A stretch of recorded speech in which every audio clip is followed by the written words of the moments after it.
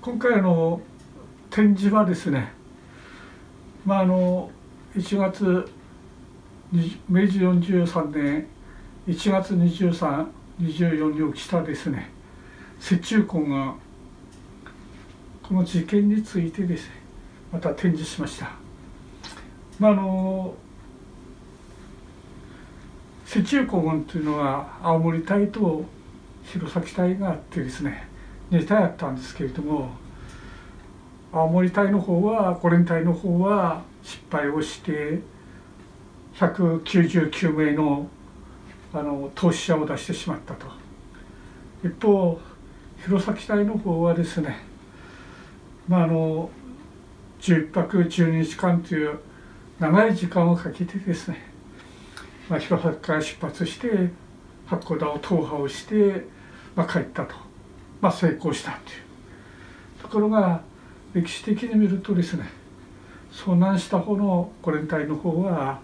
当時英雄ヒーローみたいな取り扱いを受けてですね弘前隊の方は闇に葬られたと。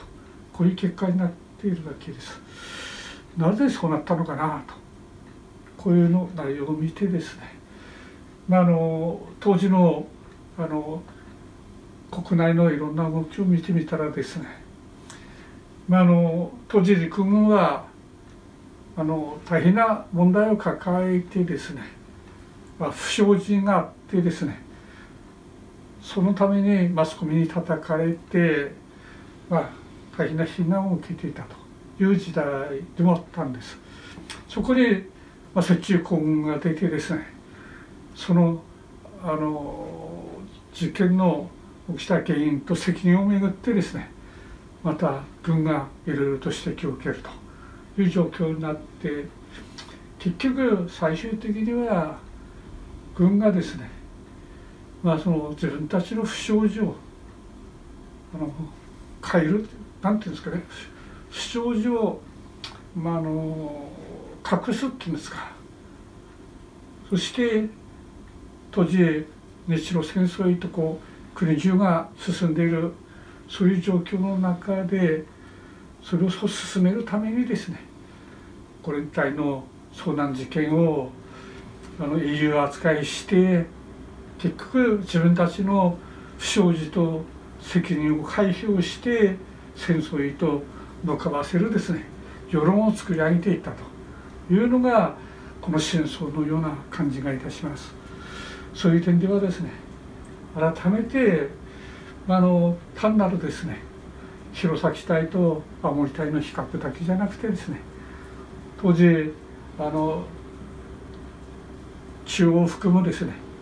いわば陸軍政府のですね動きと照らし合わせて考えるということが必要なんじゃないのかなと。まあ、当時陸軍はですね馬蹄人事件というんで、まあ、あの義和団事件でですね日本の軍隊が中国大陸へですね行って、まあ、戦争した。その時にですね当時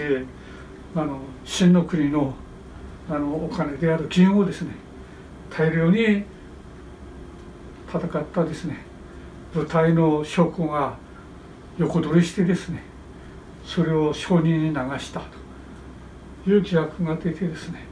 結局の師団長である野木丸助がですね師団長を辞める。そして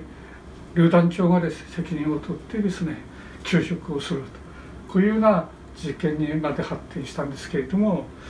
そういう事件の不祥事それと一緒だったまああの盗難事件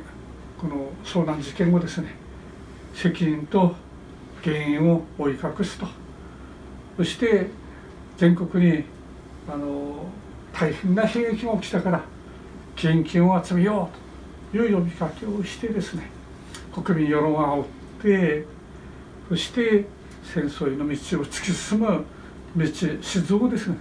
作り上げていったというのが、まあ、真相のような気がいたします。まあ、改めてこの雪中行軍のですね、まあ、あの光と影っていうんですかね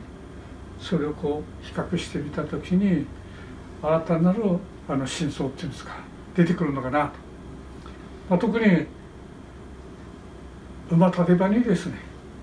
後藤五長の像が立っていると。なぜ後藤五長なのかと。いうことも一つ分からないんです。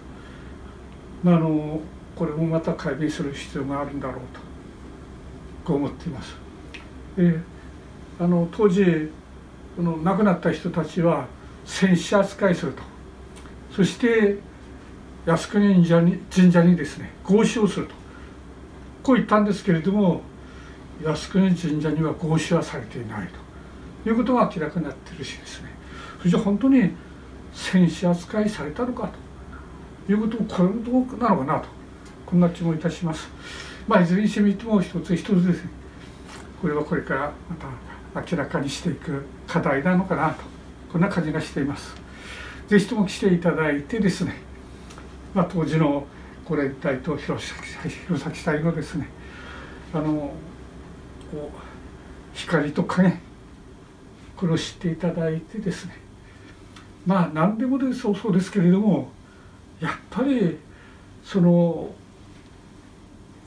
原因と責任何事でもきっちりさせておかないとですね後々まで誤った判断がそのまま通用するみたいな感じになっていくと。ですからまあこれはあの軍隊で起きたことですけれどもやっぱりきちっとですね何の仕事をしても原因と責任総括をする時はきちっとしてですね正しておかないと公正にまた過ちを繰り返すということになるんじゃないのかなとこんな気がいたします。そういう点では是非ともですねご来場いただきますことを心からお願いをしてですねちょっとあちこちに行きましたけれどもあのお願いに返させていただきます。よろしくお願いします。